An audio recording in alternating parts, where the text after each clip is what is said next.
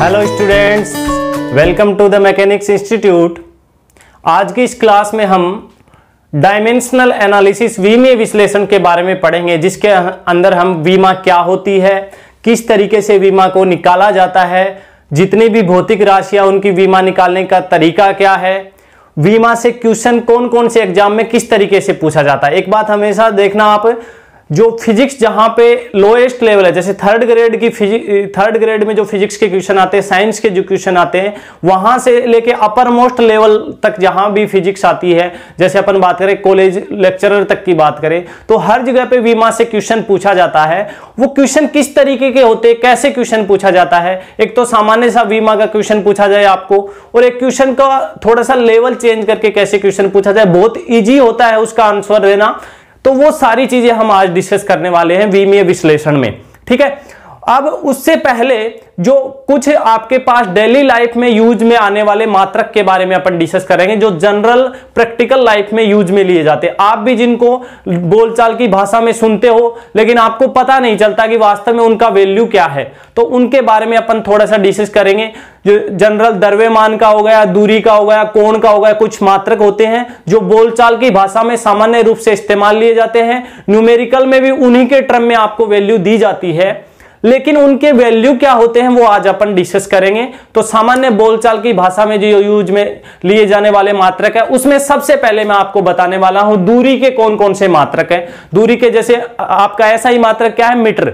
लेकिन मीटर के अलावा कुछ सामान्य बोलचाल की भाषा में कुछ मात्रक आते हैं, जैसे सबसे पहले वेवलेंथ का मात्रक दे दिया जाता है आपको। कई क्वेश्चन में वेवलेंथ का मात्रक दे दिया जाता है एंगस्ट्रम तो वेवलेंथ का जो मात्रक सामान्य रूप से वेवलेंथ के लिए यूज़ में होता है, लेकिन किसी का भी हो सकता है। तो तरंग धैर्य के लिए कई बार मात्रक आपको एंगस्ट्रम या ए के ऊपर डोट लगा के दे दिया जाता है, जो कि इसका सिंबल है। उसका वैल्यू होता है दस की पावर माइनस दस meter ten raise minus ten meter तो पहला आपके पास दूरी का मात्रक है एंगस्ट्रम, जो सामान्य रूप से यूज़ में लिया जाता है। दूसरा होता है एक्सरे मात्रक। इसको कैपिटल एक्स से डिनोट किया जाता है एक्सरे मात्रक को।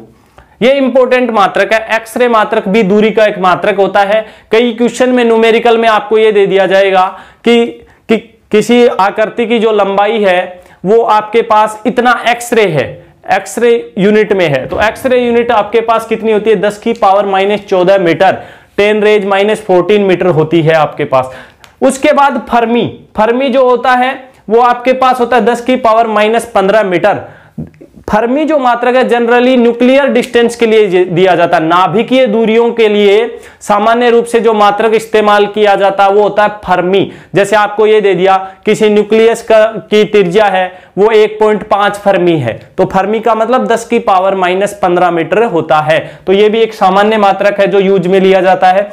उसके बाद होता है कि खगोलीय मात्रक, एक खगोलीय मात्रक एयू से डिनोट किया जाता है, इसको एस्ट्रोनॉमिकल यूनिट बोला जाता है इंग्लिश में। एयू की वैल्यू होती है एक पॉइंट चार नौ छह गुणा दस की पावर ग्यारह मीटर। सबसे इंपॉर्टेंट है, ये वाला मात्रक, खगोलीय मात्रक आपके पास बहुत इंपॉर्टेंट है, इसकी वैल्यू आप ध्यान रखेंगे। एयू की वैल्यू एक एयू की वैल्यू होती है आपके पास एक पॉइंट चार नौ छह गुणा दस की पावर ग्यारह मीटर। उसके बाद एक मात्रक आता है दूरी, ज़्यादा लंबी दूरियों को यूज़ में लेने के लिए ऐसे मात्रक आपको मिलते हैं। उसके बाद आपको दिया जाता है एक प्रकाश वर्ष। प्रकाश वर्ष क्या है? जैसे ग्रहों के बीच की दूरी आपको बताई जाए। ग्रहों के बीच की, पृथ्वी से चंद्रमा के बीच की दूरी। ऐसी दूरियाँ जो लंबी दूरियाँ हैं, उनको जब किसी मात्रक में डिनोट किया जाता है तो उनके लिए प्रकाश वर्ष या पारसे की यूज़ में लिया जाता है। सॉरी एक प्रकाश वर्ष है, जिसको लाइट ईयर भी बोलते हैं। एल वाई उसका सिंबल है, उसकी वैल्यू होती है नौ पॉइंट चार छह सात गुणा दस की पावर पंद्रह मीटर। तो एक प्रकाश वर्ष भी, प्रकाश वर्ष लिखा हुआ वर्ष में आप ये मत जाना कि समय का मात्रक है। प्रकाश वर्ष भी दूरी का मात्रक होता है। यहाँ पे वर्ष से इस बात पे नहीं जाना कि समय की इकाई होती है वर्ष तो ऐसा बिल्कुल भी नहीं है। प्रकाश वर्ष आपका दूरी का ही मात्रक है। उसके बाद आता है एक पारसेक पीसी से डिनोट किया जाता है पारसेक को। यह भी दूरी का मात्रक है यह भी लंबी दूरियों को ज्ञात करने के लिए सामान्य रूप से यूज़ में लिया जाता है, जिसका वैल्यू होता है तीन पॉइंट ज़ीरो आठ चार गुणा दस की पावर सोलह मीटर। तो ये तो हो गई दूरी के मात्रक। जनरली इसमें से जो लंबी दूरियों के लिए यूज़ में लिए जाने वाले मात्रक ये हैं। ये आपके पास इंपोर्टेंट है। इनको याद रखें आप और फर्मी जो है वो न्यूक्लियर डिस्टेंस के लिए, नाभिकीय दूरियों के लिए मतलब बहुत कम दूरी के लिए, सामान्य रूप से फर्मी है वो नाभिकीय दूरियों के लिए यूज़ में लिया जाता है, बहुत कम दूरियों के लिए, ठीक है? एंगस्ट्रम का जो मात्रक है वो सामान्यतः तरंग धैर्य के लिए यूज़ में लिया जाता है। किसी वेव की तरंग धैर्य या वेवलेंथ के लिए सामान्यतः यूज़ कहीं भी लिया जा सकता है, लेकिन सामान्य रूप से जहाँ पे पूछा जाता है। एक एक्सरे मात्रक होता है, जो भी स्मॉल डिस्टेंस के लिए यूज़ में लिया जाता है। उसके बाद बात करते हैं अपन किसके? द्रव्यमान के मात्रकों की। जैसे द्रव्यमान का किलोग्राम तो सामान्य ऐसा ही मात्रक होता है। उसके अलावा जो मात्रक होते एक होता है स्लग द्रव्यमान का एक मात्रक होता है स्लग जो आपके पास लगभग साढ़े चौदह किलोग्राम के बराबर होता है। स्लग की वैल्यू जो होती है, वो लगभग साढ़े चौदह किलोग्राम रियल वैल्यू अगर बात करें एग्जैक्ट वैल्यू की बात करें तो वो होती है चौदह पॉइंट पाँच सात kilogram fourteen point five seven kilogram होती है आपके पास स्लग की। उसके बाद एक क्विंटल आता है, ये सामान्य रूप से सभी को पता है, एक क्विंटल में हंड्रेड किलोग्राम होते हैं, सौ किलोग्राम होता है आपके पास। एक मीट्री टन जो टन होता है एक मीट्रिक टन, उसमें 10 क्विंटल होता है। 10 क्विंटल बोल सकते हो या 1000 किलोग्राम बोल सकते हो, ठीक है? या फिर इसको 10 की पावर 3 किलोग्राम भी बोलते हैं। तो आपके पास एक मीट्रिक टन में ये होता है। सबसे इंपॉर्टेंट फुट पाउंड सेकंड के सिस्टम में आपने पढ़ा था पाउंड। पाउंड जो होता है, उसमें लगभग आधा किलो होता। आधा किलो होता नहीं एग्जैक्टली अगर बात करें एग्जैक्टली कितना होता है? चार किलोग्राम होता है, या फिर बोल सकते हैं zero point four five three five kilogram आपके पास होता है पाउंड में। सबसे इंपॉर्टेंट और बहुत ज़्यादा काम क्वेश्चन ज़्यादातर इससे पूछा जाता है। एक आपके पास यूनिट होती है मास की या द्रव्यमान की चंद्रशेखर सीमा। चंद्रशेखर लिमिट ठीक है? चंद्रशेखर लिमिट है, वो आपके पास बड़े पिंडों के द्रव्यमान के लिए यूज़ में लिया जाता है। जैसे सूर्य का द्रव्यमान हो गया और बड़े ग्रहों के द्रव्यमान की बात करें तो उनके द्रव्यमान को मापने के लिए एक बड़ी यूनिट को इस्तेमाल में लिया जाता है, जिसको चंद्रशेखर सीमा या सीएसएल कहा जाता है। चंद्रशेखर सीमा बड़े ग्रहों की, के द्रव्यमान को मापने के लिए यूज़ में लिया जाता है। इसका मान होता है एक पॉइंट चार गुणा सूर्य का द्रव्यमान। इसका मात्रक कितना होता है? एक पॉइंट चार गुना सूर्य का द्रव्यमान। सूर्य का द्रव्यमान की वैल्यू रखें तो आपके पास ये आ जाता है, सूर्य का द्रव्यमान होता है दो गुना दस की पावर तीस किलोग्राम। वो वैल्यू रखें तो आपके पास इसका एग्जैक्ट वैल्यू जो आपके पास है न्यूमेरिकल वैल्यू आता है दो पॉइंट आठ गुना दस की पावर तीस किलोग्राम।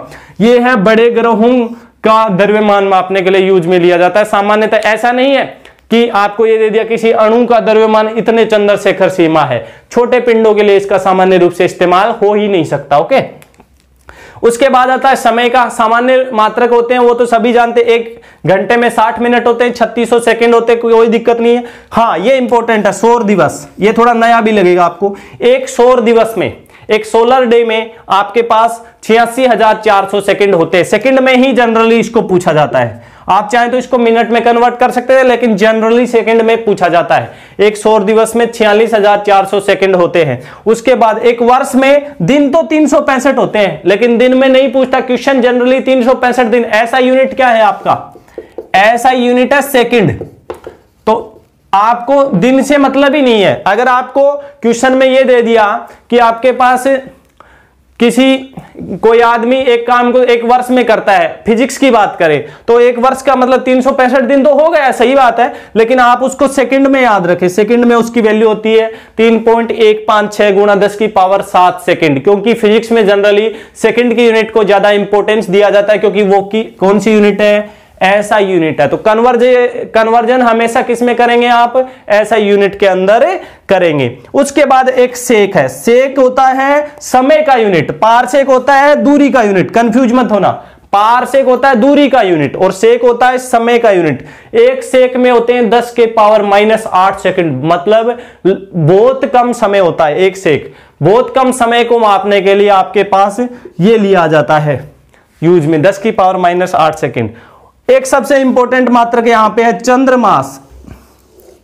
एक चंद्रमास होता है 27.3 दिन के बराबर। पूरा महीना भी नहीं होता। एक चंद्रमास का मतलब है, एक महीना नहीं होता चंद्रमास। एक चंद्रमास होता है 27.3 दिन। तो ये आपके पास कुछ समय के मात्रक है जो डेली प्रैक्टिकल लाइफ में यूज़ में लिए जाते हैं। क्वेश्चन में, न्यूमेरिकल में भी ऐसे दे दिया जाता है, जैसे सौर दिवस किसी की यूनिट दे दी गई। आपको तो उसको सेकंड में बदलना पड़ेगा। कब बदल पाओगे? जब आपको पता होगा कि सेकंड में उसकी वैल्यू कितनी है। ठीक है? इस तरीके से आप उनको चेंज कर सकते हैं। फिर आते हैं कोण के मात्रक।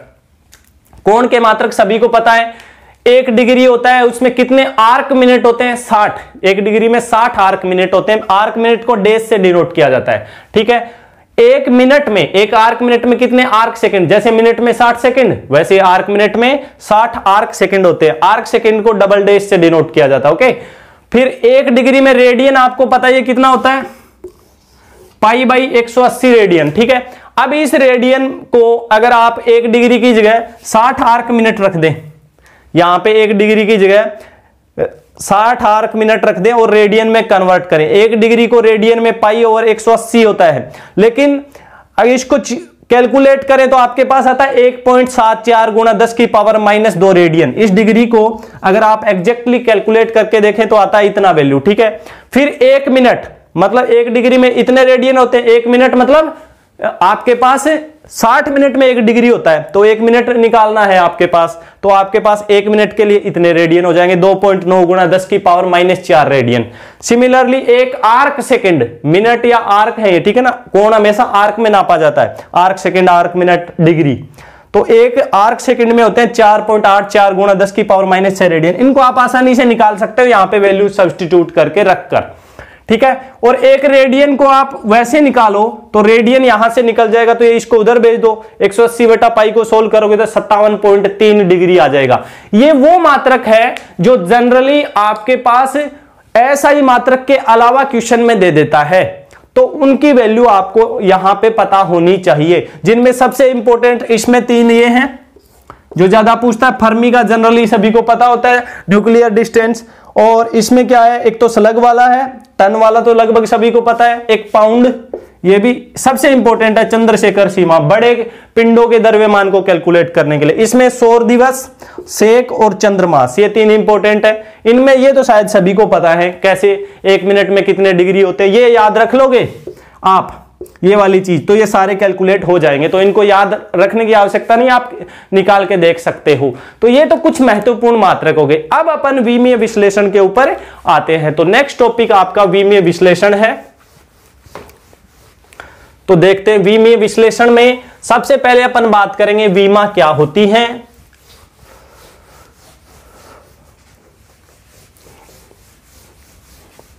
उसके बाद हम विमाओं का इस्तेमाल कैसे किया जाता है और क्या क्या काम में आ सकती हैं ये? पूरी फिजिक्स जब आप पढ़ेंगे फ़र्स्ट पीरियड की तो उस फिजिक्स के अंदर हर जगह पे बीमा आपको पढ़ने की मिलेगी। जैसे जैसे नई राशि आती जाएँगी तो आपको उनकी बीमा पढ़नी पड़ेगी। जैसे कुलाम का नियम पढ़ा था ना, उसमें अपन ने हर क्वांटिटी की बीमा निकाली थी। तो वो बीमाएँ आपको निकालने का तरीका आ गया तो याद रखने की आवश्यकता नहीं है। निकालने का तरीका समझो, क्योंकि बीमाएँ बहुत ज़्यादा होती हैं। विमाओं की क्वांटिटी है वो बहुत अधिक होती है तो अपन उसको सामान्य रूप से ये तो है नहीं कि सभी को याद रख पाएँगे, क्योंकि बहुत ज़्यादा होती है क्वांटिटी में। इसलिए हम उनको निकालने का तरीका समझते हैं। सबसे पहले तो बीमा होती क्या है, देखिए। डायमेंशन या बीमा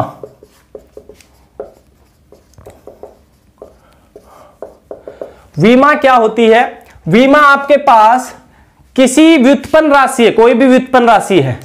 जो मूल भौतिक राशि थी ना, उनकी बीमाएँ तो मैंने पहले ही आपको दिखा दी कि उनके सिंबल से सामान्य रूप से प्रदर्शित की जाती है। लेकिन जो व्युत्पन्न भौतिक राशियाँ, जो मूल से बनाई जाती हैं, उनकी बीमाओं का मतलब क्या? बीमाओं का मतलब है जो व्युत्पन्न राशि आप बनाते हो। व्युत्पन्न राशि बनाते हो। किसको यूज़ में लेके बनाते हो? मूल भौतिक राशि को। तो मूल भौतिक राशि पे कितनी पावर आपने लगाई कि आपकी व्युत्पन्न राशि बनी। कौन कौन सी मूल भौतिक राशि पे कितनी आपने घात लगाई, कितनी पावर लगाई कि आपकी व्युत्पन्न राशि जनरेट हुई, उसको बीमा बोला जाता है, जो घात आप लगाते हो। जैसे मैं बात करूँ, आप बात कर रहे हैं, जैसे आप वेग की बात कर रहे हैं। वेग क्या होता है? विस्थापन अपोन समय। ठीक है? विस्थापन क्या होता है? एक प्रकार की दूरी होती है, लंबाई होती है तो विस्थापन। विस्थापन का मतलब लंबाई एल से डिनोट करेंगे। इसकी बीमा हो गई। बीमा को हमेशा बड़े ब्रैकेट में डिनोट किया जाता है। एल वन समय की बीमा क्या हो गई? टी वन तो इसको आप क्या लिखोगे? एल वन टी ऊपर जाएगा तो टी माइनस वन एम का कुछ है नहीं तो एम एल टी सामान्य रूप से यूज़ में लेते हैं।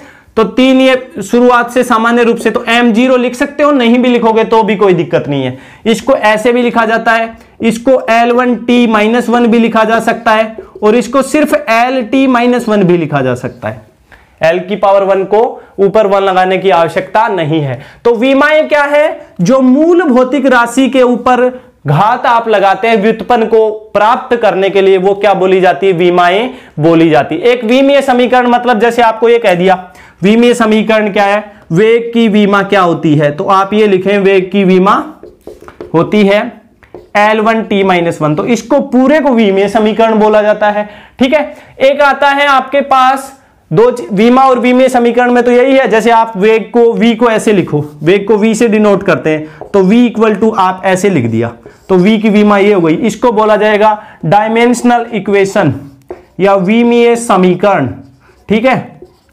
समीकरण मतलब वीमा निकाल के क्वांटिटी के बराबर रख दो तो ये वीमीय समीकरण हो जाएगा। तो ये तो सामान्य बात हो गई कि क्या होती है बीमा इसके बाद हम बात करते हैं सबसे महत्वपूर्ण बात, वीमीय समांगता का सिद्धांत। Principle of homogeneity of dimensions सबसे इंपॉर्टेंट ये है क्वेश्चन जनरली इसको यूज़ में लेके पूछा जाता है। ये अगर आपको समझ में आ गया ना तो आपके दिक्कत नहीं होगी। बीमा में सभी की निकाल के बताऊँगा आपको बहुत सारी राशियों की। तो अभी सबसे इंपॉर्टेंट चीज़ यहाँ पे ये है, क्वेश्चन जनरली एक तो सीधी बीमा पूछती है तो आपको दिक्कत नहीं होती है, लेकिन कई बार क्वेश्चन इससे रिलेटेड पूछा जाता है। क्वेश्चन कहाँ से पूछा जाता है? विमीय समांगता का सिद्धांत। समांगता का सिद्धांत। Principle of homogeneity of dimension तो देखिए क्या होता है विमीय समांगता का सिद्धांत। इसमें क्या होता है, कोई भी सूत्र आपको दिया जाता है। जैसे कोई भी सूत्र दे दिया आपको, जैसे आपको यह दे दिया F equal to M A सामान्य सूत्र है। ठीक है? अब विमीय समांगता का सिद्धांत क्या कहता है? लेफ़्ट साइड की जो विमा है, वो राइट साइड की विमा के बराबर होगी। तो एफ़ की विमा क्या होती है? मैं बता देता हूँ एक बार तो M one L one T minus two होती कैसे आई? मैं निकाल के बताऊँगा, आपको कोई दिक्कत नहीं है। इस तरफ़ देखो एम मतलब मास। द्रव्यमान की विमा क्या होती है?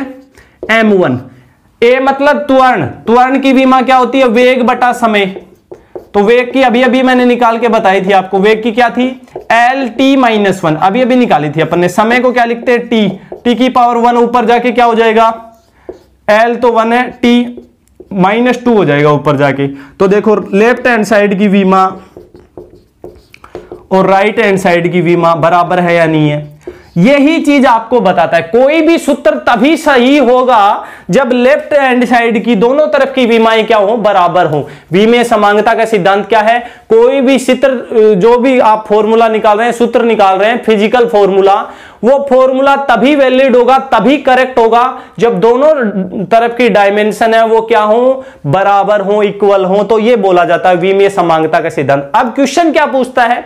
कई बार जैसे आपको ये दे दिया क्वेश्चन आपको इस तरीके से दे दिया कि सिद्ध कीजिए बताइए आपके पास ये सत्य है या नहीं है। जैसे एक क्वेश्चन दे दिया आपको, फ़र्स्ट ग्रेड की ही बात करूँ तो क्वेश्चन दे दिया, निम्न में से कौन सा सत्य है? जैसे एक आपको फॉर्मूला दे दिया F equal to M A कौन सा सही है?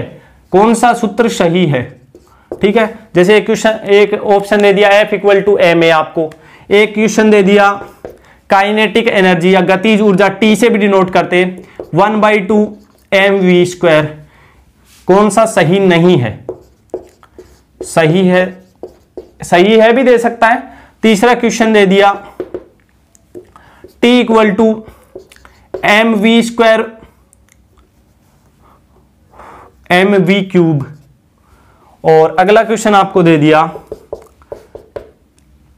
F equal to M G या W equal to M G आपको विमीय रूप से बताना है, मैं पूरा क्वेश्चन लिखता हूँ, निम्न में से कौन सा? विमीय रूप से सही नहीं है। क्वेश्चन जनरली इसी थ्योरी से क्वेश्चन पूछता है। सामान्य अगर आपको बीमा पूछता है तो आपको दिक्कत नहीं आती। आप देखो, सबसे आपको पता है, ये तो ये सही सूत्र है, ये भी सही है। लेकिन ये तो सामान्य सूत्र हो गए। लेकिन अगर आपको कोई डिफ़िकल्ट फॉर्मूला दे दिया जाए, तब आप कैसे चेक करोगे? लेफ़्ट हैंड साइड की बीमा देखो, इसकी और इसकी लेफ़्ट और राइट साइड की बीमा देखो, दोनों बराबर आएँगी तो सही है सूत्र। इसकी भी चेक करो लेफ़्ट और राइट साइड की बीमा टी काइनेटिक एनर्जी की क्या होती है? काइनेटिक एनर्जी की बीमा एनर्जी कार्य या ऊर्जा की बीमा क्या होती है? देखो M one L two T minus two कहाँ से आई मैं निकाल के बताने वाला हूँ अभी? ठीक है? वन बाई टू की कोई भी मान नहीं होती है राशि की। द्रव्यमान की क्या होती है? किलोग्राम किलोग्राम मतलब द्रव्यमान की एम वन वेग की अभी अभी निकाली थी मैंने L one T minus one और उसका स्क्वायर है तो स्क्वायर कर दीजिए। तो क्या हो गया? M one L two T minus two देखो लेफ़्ट हैंड साइड और राइट हैंड साइड की बीमा बराबर है, ये सूत्र भी सही है। ये देखो, इसको चेक करोगे तो ये गलत आएगा। चेक कर सकते हो, इसकी बीमा इसकी तो यही है। इसकी एम की बीमा एम वन द्रव्यमान की। V की बीमा L one T minus one अभी निकाली। इसकी पावर क्यूब करो तो क्या हो गया? M one L three T minus three क्या लेफ़्ट हैंड साइड मतलब ये बीमा और ये बीमा बराबर है? नहीं है। इसका मतलब फॉर्मूला गलत है। तो ये आपका आंसर हो गया। ये और चेक कर लो। W equal to M G W कार्य या ऊर्जा की बीमा यही होती है। तो कितनी है? M one L two T minus two M की बीमा एम वन त्वरण की बीमा क्या होती है? L one T minus two आपके पास। त्वरण की बीमा सॉरी त्वरण क्या होता है? देखिए, वेग बटा समय। तो वेग कितना था? आपके पास L one T minus one और अपोन में टी और लगेगा तो हो गया आपके पास टी माइनस टू तो क्या हो गया? L one T minus two तो आपके पास क्या आ गया? सॉरी डब्लू कार्य नहीं है, ये वेट है वेट और वेट की ये होती है। ठीक है। तो ये क्या हो गया? M one L one T minus two ये वेट है, ठीक है ना? भार कार्य नहीं है। ठीक है? ये आपके पास क्या हो गया? M one L one T minus two W कार्य भी होता है और वेट भी होता है। तो दोनों तरफ़ की बराबर है, ये फॉर्मूला भी सही है। तो आपका आंसर गलत वाला बताना था तो ये आंसर हो गया। तो ऐसा क्वेश्चन आपको पूछा जाता है जनरली डायमेंशनल एनालिसिस से फॉर्मूला सही बताना। अगर यही क्वेश्चन आपको ये दे दिया जाता, देखना। अब आप इस क्वेश्चन को समझना। अगर ये क्वेश्चन आपको इस तरीके से दे दिया जाता T equal to one by three M V square और यहाँ पे दे दिया जाता T equal to M V one by two. तब आप बताओ कौन सा क्वेश्चन सही चलो, इसको भी मैंने चेंज कर दिया। वन बाई सिक्स कर दिया। अब आपको बताना इनमें से कौन सा सही नहीं है। वीमीय रूप से। ये अभी चेक किया। तो भी सही है। एक बटा छह की बीमा होती नहीं, अभी अभी चेक किया। इसकी बीमा इसके बराबर होती है। इसकी भी इसके बराबर होती है। तो ये वीमीय रूप से सही है। फॉर्मूले एग्जैक्ट नहीं है। लेकिन विमीय रूप से फिर भी सही है, क्योंकि इनकी बीमा और इसकी बीमा बराबर है। तो ये एक विमीय विश्लेषण की कमी हो गई आपके पास, क्योंकि ये जो नियतांक जो होते हैं ना उनकी कोई बीमा प्रोवाइड नहीं करता है तो आपके पास यह पता नहीं चलता कि नियतांक की वैल्यू क्या आएगी सूत्र में। सूत्र में यह तो पता चल जाता है कि ये पावर क्या आएँगी, लेकिन यहाँ पे नियतांक क्या आएगा, ये विमीय विश्लेषण आपको प्रदान नहीं कर पाता है तो ये इसकी एक कमी हो गई। तो ये विमीय विश्लेषण इसको भी सही सूत्र बताएगा, इसको भी सही सूत्र बताएगा। ये गलत हो जाएगा क्योंकि इसकी बीमा बराबर होगी नहीं। तो विमीय विश्लेषण के अकॉर्डिंग ये आपका आंसर हो गया। क्वेश्चन में कंफ्यूज मत होना। अगर वहाँ पे विमीय रूप से दे रखा है तो आप इनको गलत नहीं मान सकते। ये सूत्र भी आपके सही हैं। मेरी बात समझ गए सभी? तो विमीय विश्लेषण में इस विमीय समांगता सिद्धांत से बहुत क्वेश्चन पूछे जाते हैं। इसकी कमी भी आपको यहाँ से समझ में आ गई। ठीक है, क्या होता है विमीय समांगता का सिद्धांत? नेट जे आर का कंपटीशन होता है ना, उसमें भी इसका क्वेश्चन पूछा जाता है। विमीय समांगता से डायमेंशनल एनालिसिस को यूज़ में लेते हो कई डिफ़िकल्ट क्वेश्चन आप इजीली सोल्व कर पाते हो वहाँ पे। मात्रक को मिला लो, आपका आंसर आ जाएगा। अभी देखिए मैं कुछ विमा निकालने का तरीका आपको बता रहा हूँ। ये तो हो गया आपके पास विमीय विश्लेषण होता क्या है। अभी देखिए बीमा बताने का, निकालने का तरीका। इधर लिख रहा हूँ मैं भौतिक राशि। इस तरीके को समझ लेना। बहुत सी चीज़ें क्लियर हो जाएगी, क्योंकि बीमाएँ बहुत होती हैं। जितनी भौतिक राशियाँ, उतनी बीमाएँ तो सभी को याद करना संभव नहीं है। निकालने का तरीका समझो। भौतिक राशि, अन्य राशियों से संबंध यह सबसे इंपॉर्टेंट चीज़ होगी आपको। सूत्र जो है, वो याद रखने। और सामान्य रूप से याद रहने वाले सूत्र हैं। वीमा, ठीक है? और मात्रक। सबसे पहले देखो, यहाँ पे मात्रक लिखता हूँ, आगे बीमा लिखता हूँ।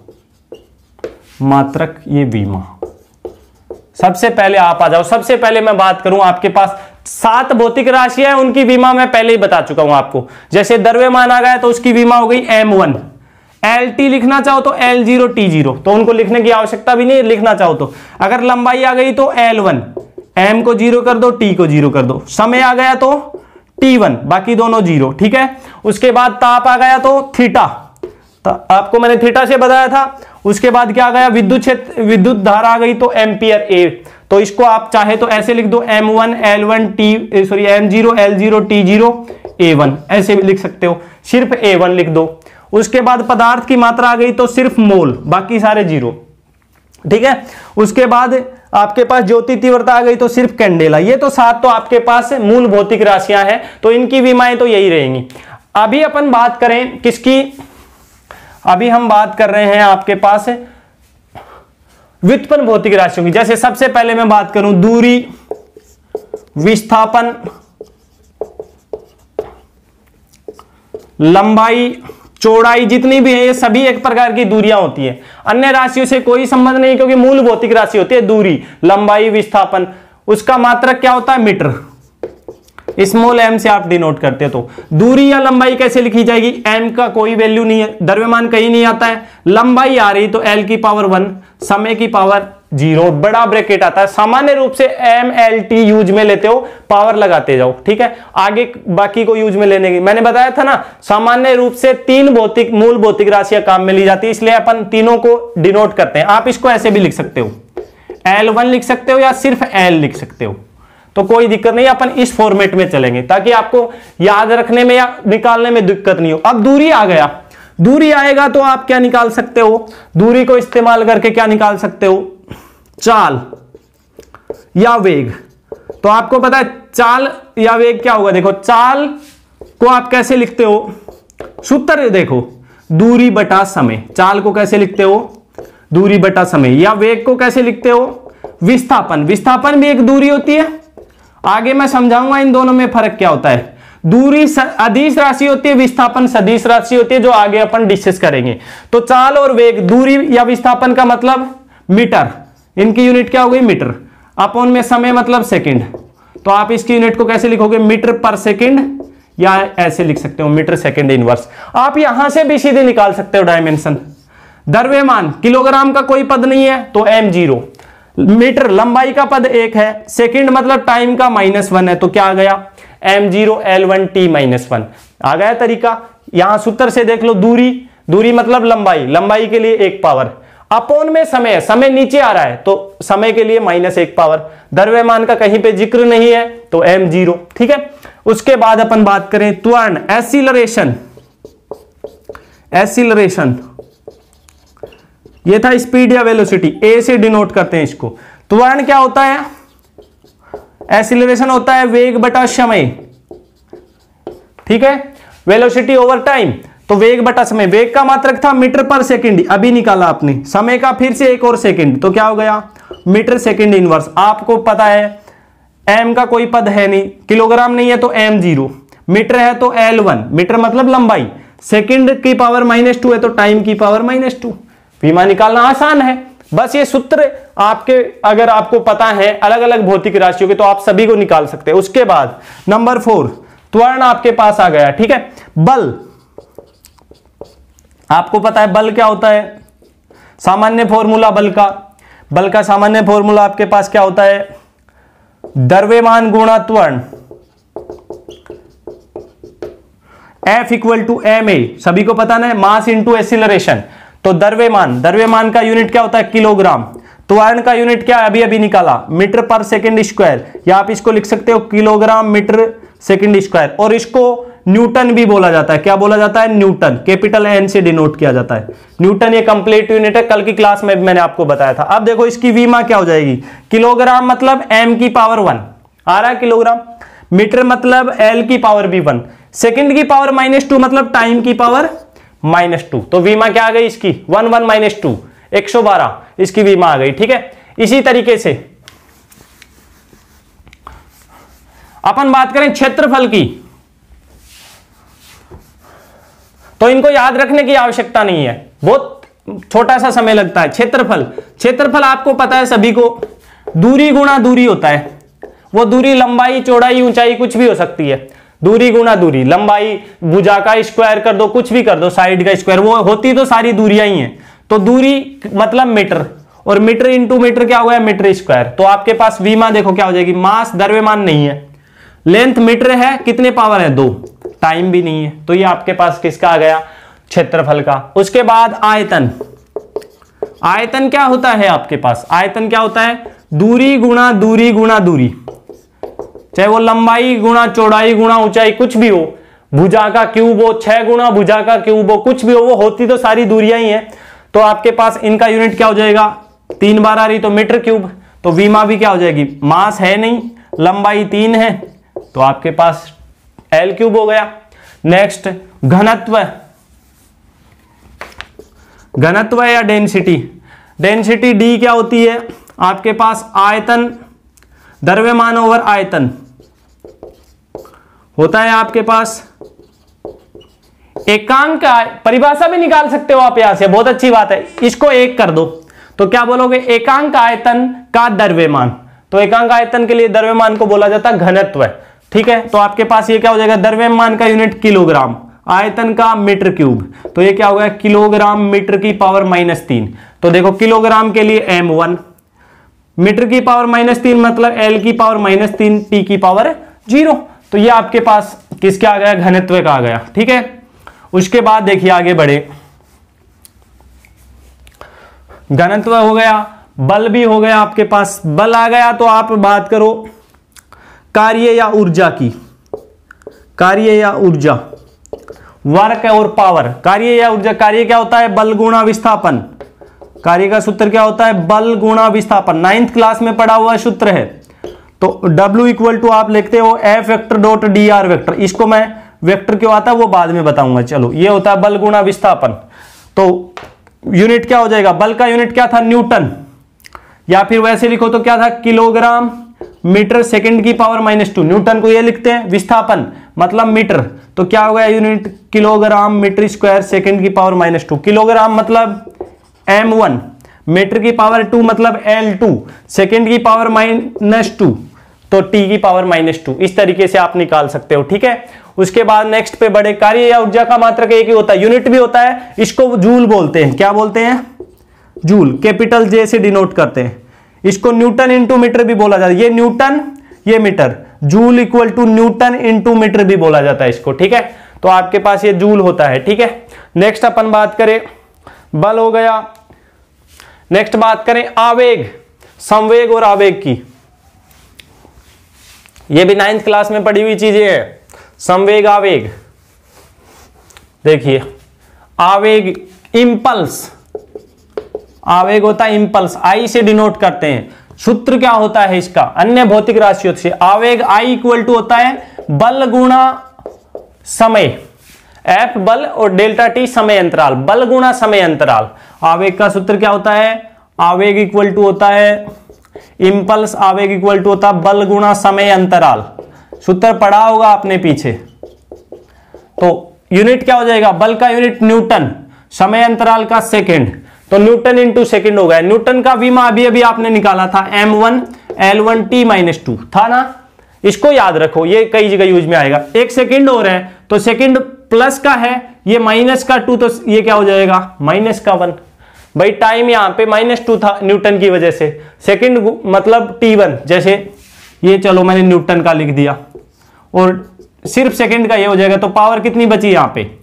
माइनस वन ओके उसके बाद संवेग। ठीक है संवेग क्या होता है आपके पास? पी मोमेंटम बोलते हैं इसको पी से डिनोट करते हैं। संवेग क्या होता है? पी इक्वल टू द्रव्यमान गुणा वेग। तो संवेग आपके पास क्या होता है? जैसा नाम है ना संवेग संवेग बनता है सम प्लस वेग से। सम का मतलब होता है सहती। भौतिक विज्ञान में सहती का मतलब होता है द्रव्यमान। अगर एकदम फिजिक्स की लैंग्वेज बात करें तो द्रव्यमान को सहती बोला जाता है। कई बार क्वेश्चन में दे सकता है, सहती की विमा क्या होगी? सहती मतलब द्रव्यमान। ठीक है संवेग क्या होगा? आपके पास द्रव्यमान गुणा वेग तो आपके पास द्रव्यमान गुणा द्रव्यमान का यूनिट किलोग्राम वेग का यूनिट मीटर पर सेकेंड तो ये यूनिट होगा किलोग्राम मीटर पर सेकेंड। किलोग्राम का वीमा एम वन मीटर का वीमा L1 और सेकंड नीचे है तो क्या हो जाएगा? टी का पावर माइनस वन ऐसे बहुत सारी राशियाँ हैं जिनके सूत्र अगर आपको पता है रिलेशन क्या है आपके पास सामान्य भौतिक राशियों से, मूल भौतिक राशियों से तो आप बहुत सारी बीमाओं को कैलकुलेट कर सकते हैं। याद रखने की ज़रूरत नहीं है, क्योंकि बीमाएँ जितनी भौतिक राशियाँ होंगी, आगे आप सिलेबस में जैसे सीनियर सेकेंडरी लेवल में बहुत सारे टॉपिक पढ़ोगे, हर की आपको बीमा पता होनी चाहिए। कॉलेज लेवल का जो ग्रेजुएशन लेवल पढ़ोगे, उसमें भी सभी की बीमा होनी चाहिए। आपको जितनी भौतिक राशियाँ पढ़ोगे, पोस्ट ग्रेजुएशन लेवल में भी सभी की बीमाएँ ये आपको पता होनी चाहिए। तो और भी बहुत सारी भौतिक राशियाँ जिनको आप सामान्य रूप से निकाल सकते हो। तो सभी को याद रखने की आवश्यकता नहीं है। सूत्र जैसे जैसे आगे आप टॉपिकों में बढ़ते जाओगे, आपके पास बीमाएँ ज्ञात करने के ट्रिक आते जाएँगे। तरीका आपको पता होना चाहिए बीमा ज्ञात करने का। दूसरी चीज़, आपको बीमा से क्वेश्चन कैसे पूछा जाता है वो पता होना चाहिए। ठीक है? तो बीमा का एक तो सामान्य क्वेश्चन पूछा जाता है। जैसे कई बार क्वेश्चन पूछा गया, सामान्य सा क्वेश्चन पूछा गया आरपीएससी फ़र्स्ट ग्रेड में। क्वेश्चन पूछा गया है, निम्न में से बल की बीमा है। यह क्वेश्चन पूछा गया। बहुत सामान्य सा क्वेश्चन है। जैसे कि आपको दे दिया M zero L one T minus one पहला। दूसरा आपको दे दिया M one L one T minus two तीसरा आपको दे दिया M one L two T minus two और चौथा आपको दे दिया M zero L one T minus two ये क्वेश्चन आपको ऑप्शन दे दिए। तो सीधी बात है, बल की बीमा आपको पता है कौन सी होती है? ये रही बल की बीमा, निकाल के देख सकते हो आप। क्वेश्चन ऐसे भी दे सकता है आपको चार कोई दे सकता है। निम्न में से कॉलम को मिलाइए तो आपको इधर दे दिया यूनिट और इधर दे दी कोई चार बीमा तो जिसकी सही है उसको उसके साथ मिलान कीजिए। तो क्वेश्चन इस तरीके से पूछता है। एक क्वेश्चन ऐसे पूछता है, निम्न में से बताइए कि विमेय रूप से कौन सा सही है, ऐसे पूछ सकता है या पूछ सकता है विमेय रूप से कौन सा गलत है, ठीक है? इस तरीके से आपको चीज़ें पूछ सकता है। तो क्वेश्चन कैसे पूछा जाता है? सबसे इंपॉर्टेंट चीज़ ये फिर बीमा क्या होती है, बीमा कैसे निकाली जाती है, वो इंपॉर्टेंट है। सभी की याद रखने की आवश्यकता नहीं, सूत्र आपको ध्यान रहेंगे तो आप बीमाएँ आसानी से निकाल सकते हो डायमेंशन को इजीली कैलकुलेट किया जा सकता है ओके चलिए, इस तरीके से आप वीमी एनालिसिस को डायमेंशनल एनालिसिस को डिस्कस कर सकते हो। नेक्स्ट क्लास में अपन इनसे रिलेटेड डायमेंशनल एनालिसिस से रिलेटेड कुछ क्वेश्चन डिस्कस करेंगे तो आपको पता चल जाएगा कि कैसे क्वेश्चन को अटेम्प्ट किया जाता है। तो आप चैनल को सब्सक्राइब करें क्लास को कंटिन्यू रखने के लिए और अपने ज़्यादा से ज़्यादा साथियों के साथ इसको शेयर करें ओके थैंक यू